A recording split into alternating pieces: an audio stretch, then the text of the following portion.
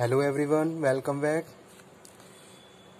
BBA fifth semester environmental science previous lecture में हम लोगों ने डिस्कस किया था एनवायरमेंटल साइंस की कुछ इंट्रोडक्शन इंट्रोडक्टरी पार्ट ठीक है? जहाँ हमने कुछ कॉन्सेप्ट क्लियर किया था एनवायरमेंट का, कुछ डेफिनेशंस डिस्कस करी थी, जो मैं आज दोबारा से एक्सप्लेन कर देता हूँ, ठीक है? उसके बाद आज हम पढ़ेंगे main components of environment atmosphere, hydrosphere, lithosphere और बायोस्फेयर के बारे में, ठीक है? तो थोड़ा रिवाइज कर लेते हैं। एनवायरमेंट एनवायरमेंट है क्या? The word environment is derive from the French word जो एनवायरमेंट वर्ड है, वो फ्रेंच वर्ड से आया है, ठीक है? Environner which means around surround ठीक है? इसका मतलब क्या है? हमारे चारों तरफ़, आसपास जो भी चीज़ें हैं, वो क्या है? एनवायरमेंट है। अब अगर हम कहीं किसी हिली एरिया पे रह रहे हैं, ठीक है तो हमारे चारों तरफ़ जो भी एटमॉस्फेयर बना हुआ है, वो हमारा क्या है? एनवायरमेंट है, ठीक है? चाहे हम बात करें एटमॉस्फेयर की, चाहे हम बात करें हाइड्रोस्फेयर की, चाहे हम बात करें लिथोस्फेयर की, चाहे हम बात करें बायोस्फेयर्स की। सारी चीज़ें किसमें इंक्लूड है? एनवायरमेंट में इंक्लूड है, ठीक है? तो वही चीज़ यहाँ पे हमने हमने डिस्कस करी। The word environment is derived from the French word environner which means around, surround. Study how human interact with environment. ठीक है ह्यूमन किस तरीके से एनवायरनमेंट से इंटरेक्ट हो रहा है वो यहाँ पे हम डिस्कस कर रहे हैं environment can be defined all social economical physical chemical factor that surround man ठीक है हमारे चारों तरफ़ जो भी फैक्टर्स जिसका इफ़ेक्ट हमारे ऊपर पड़ता है, ठीक है? जिसका इफ़ेक्ट हमारे एनवायरमेंट पे पड़ता है। ओके तो वो यहाँ पे हम डिस्कस कर रहे हैं।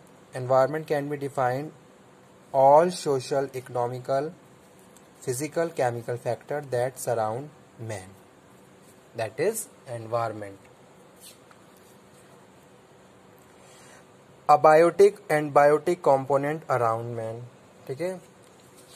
हमारे चार, हमारे चारों तरफ़ जो भी बायोटिक कंपोनेंट है, जो भी अबायोटिक कंपोनेंट है, वो भी क्या है? हमारे एनवायरनमेंट का ही पार्ट है, ठीक है? बायोटिक एंड अबायोटिक जैसा कि मैंने प्रीवियस लेक्चर में भी बताया आप लोगों को living non living things which surround us that is a part of our environment okay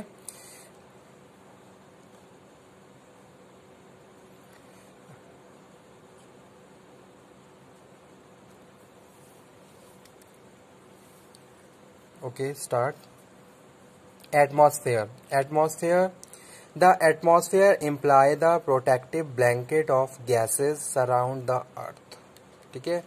हमारी धरती जो भी अर्थ है अर्थ के चारों ओर जो गैसेस गैस जो भी गैसेस का जो ब्लैंकेट बना हुआ है वो किसमें आता है? हमारे एटमॉस्फेयर में आता है।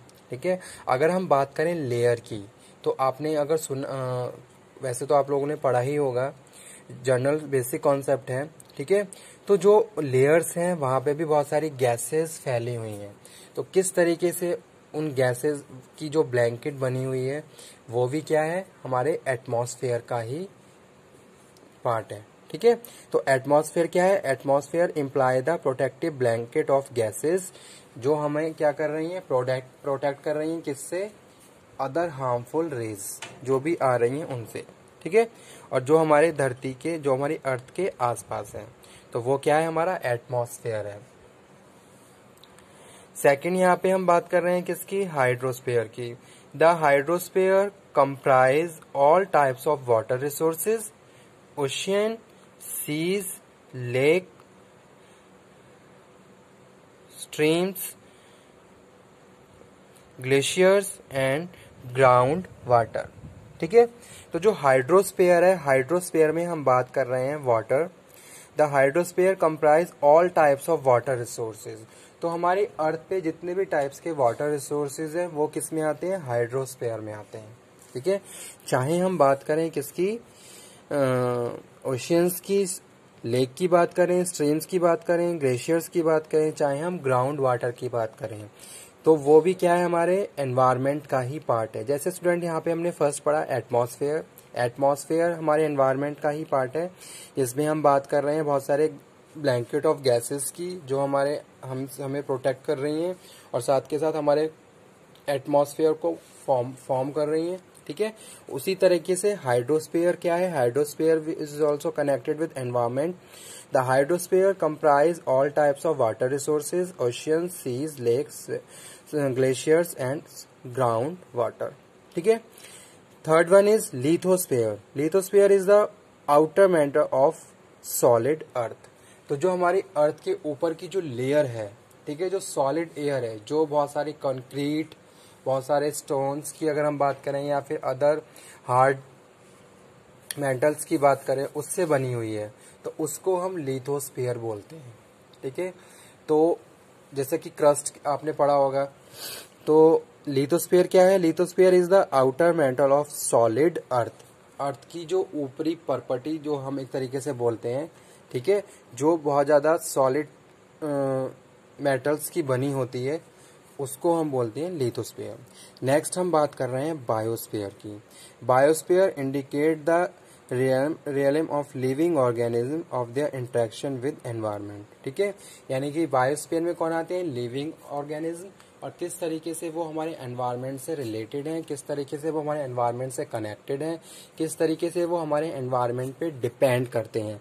तो ये सारे जितने भी लिविंग ऑर्गेनिज्म हैं, वो अंडर बायोस्फेयर का आती हैं। ठीक है?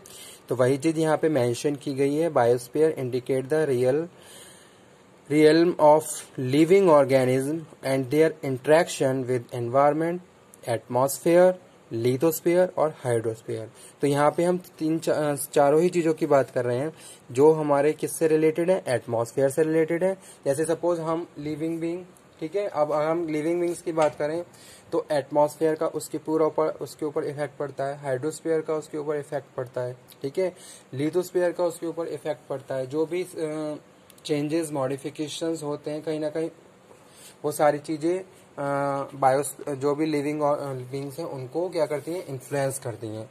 तो इसीलिए यहाँ पे मेंशन किया गया है, यहाँ पे लिखा हुआ है biosphere indicate the realm of living organism and these uh, their interaction with environment atmosphere lithosphere and hydrosphere.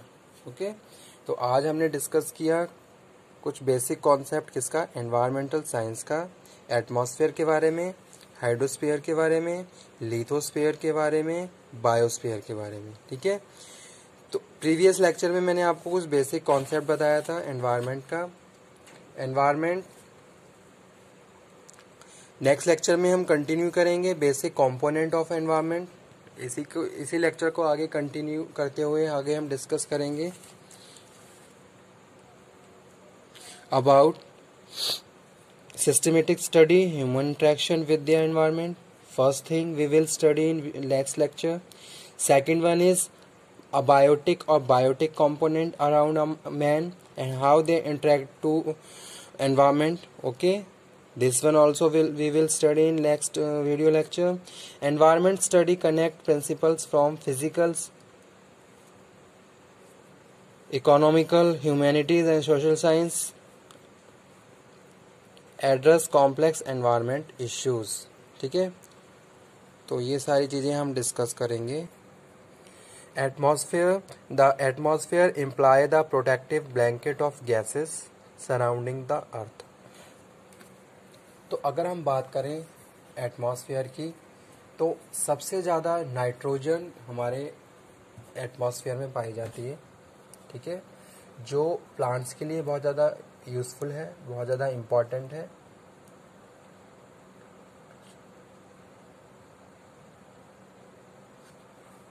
उसके बाद अदर गैसेस भी पाई जाती हैं।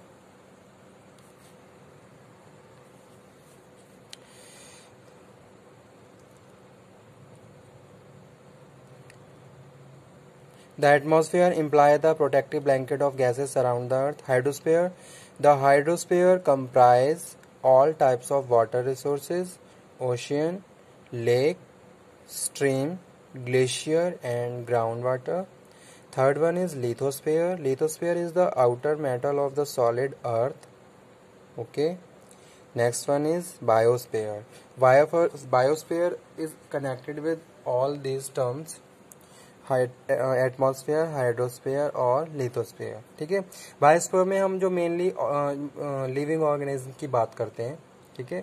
इतने भी living organism on the earth है, वो बायोस्फेयर में आते हैं। अब इसमें क्या है? इसमें अलग अलग स्पेसीज हैं, ठीक है? अगर हम किसी एक स्पेसिस पे जाएँ तो उसमें हमें बहुत सारे वेरिएशंस देखने को मिल जाएँगे, ठीक है?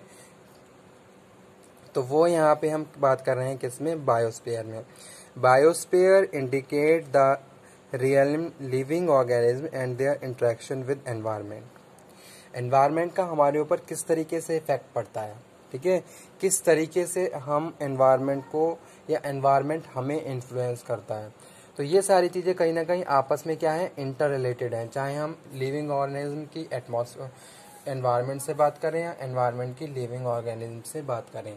डे टू डे लाइफ में हम जो भी एक्टिविटीज़ को फॉलो करते हैं, कहीं ना कहीं उसका इफ़ेक्ट हमारे एनवायरनमेंट पे पड़ता है। ठीक है? और ऐसी बहुत सारी चीज़ें हैं जिसकी वजह से हमारा एनवायरनमेंट क्या है? पॉल्यूट हो रहा है। अब हमें किस तरीके से उन सारी प्रैक्टिसेस को प्रिवेंट करना है, उन सारी चीज़ों को रोकना है, ताकि हम अपने एनवायरनमेंट को प्रॉपर सेफ़ कंडीशन में ला सकें और एक हेल्दी लाइफ जी सकें। तो उसके लिए हम बात करेंगे need of study environmental science ठीक है? जो हम नेक्स्ट लेक्चर में डिस्कस करेंगे। तो आज इस लेक्चर को हम यहीं पे फिनिश करते हैं। नेक्स्ट लेक्चर में हम फिर डिस्कस करेंगे need of study environmental science okay notes की अगर मैं बात करूँ तो डे टू डे मैं आपको नोट्स जो जो भी मैं ये रिटर्न नोट्स बना रहा हूँ, या आपकी फ़ोटो कॉपी इसकी एक कॉपी आपको सेंड करता रहूँगा। आप अपने सेल्फ नोट्स भी प्रिपेयर कर लीजिए ताकि एग्ज़ाम में टाइम एग्ज़ाम के टाइम में आपको कोई प्रॉब्लम ना हो और आपके पास प्रॉपर कंटेंट हो और आप अपनी अच्छी प्रिपरेशन कर पाएँ, ठीक है? इसी के साथ कुछ रेफरेंस बुक्स के एड्रेस भी मैं आप लोगों को सेंड करूँगा ताकि आप वो, जो मेन बुक्स हैं, उनको प्रेफर करें और अपने नोट्स बनाएँ, ठीक है? Thank you